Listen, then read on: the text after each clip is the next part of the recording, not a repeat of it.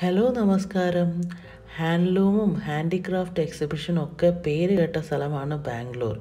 Lockdown ഒക്കെ കഴിഞ്ഞ് ആൾക്കാർ പയ്യെ പുറത്തിറങ്ങി തുടങ്ങിയപ്പോൾ നടന്നൊരു എക്സിബിഷനാണ് ബംഗളൂരു ദസ്തകർ ബസാർ.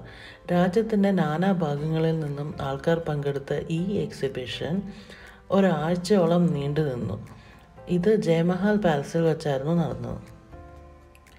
രാജസ്ഥാൻ ഡൽഹി കൽക്കട്ട കർണാടക ആന്ധ്രാപ്രദേശ് ഹിമാചൽ പ്രദേശ് ആസാം ബീഹാർ അങ്ങനെ വേണ്ട എല്ലാ സ്ഥലത്തു നിന്നും ഉള്ള സ്റ്റാളുകൾ ഈ എക്സിബിഷൻ ഉണ്ടായിരുന്നു. ഷോപ്പിംഗ് ചെയ്ത് തകർക്കാൻ പറ്റിയ ഏറ്റവും നല്ല അവസരമായിരുന്നു ഇത്. ഷോപ്പിംഗ് മാത്രമാണെന്ന് കരുതല്ലേ? ഓരോ സ്ഥലത്തു നിന്നുള്ള കലാകാരന്മാരും അവരുടെ തനതായ കലകളും ആൾക്കാരുടെ മുന്നിൽ അവതരിപ്പിച്ചു.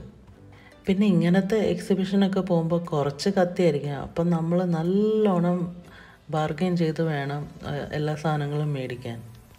ഇങ്ങനത്തെ മേളകളിലൊക്കെ പോകുമ്പോഴാണ് നമ്മുടെ നാടിന്റെ വൈവിധ്യവും ആർട്ടിസ്റ്റുകളുടെ കലാവിരുദ്ധം ഒക്കെ മനസ്സിലാവുന്നത്.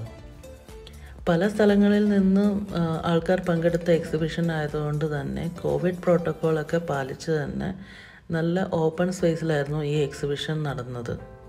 പൂച്ചകളെ ഏറെ ഇഷ്ടപ്പെടുന്ന എനിക്ക് ഈ ബ്ലോക്ക് പ്രിന്റിന്റെ ഡിസൈൻ ഭയങ്കര ഇഷ്ടമായി ഷോപ്പിംഗ് ഒക്കെ കഴിഞ്ഞ് വശം കെട്ട് ക്ഷീണിച്ച് ഒരു നിലയിലാവുമ്പോൾ നമ്മൾ എന്തായാലും എന്തെങ്കിലും കഴിക്കാൻ വേണ്ടിയിട്ടായിരിക്കും നോക്കുക.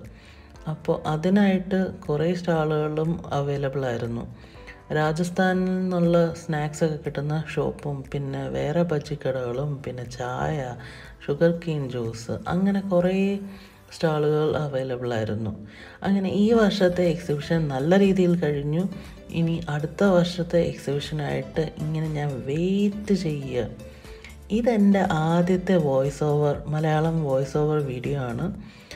എന്തെങ്കിലും അഭിപ്രായം ഉണ്ടെങ്കിൽ പറയാൻ മറക്കരുത്. Bye bye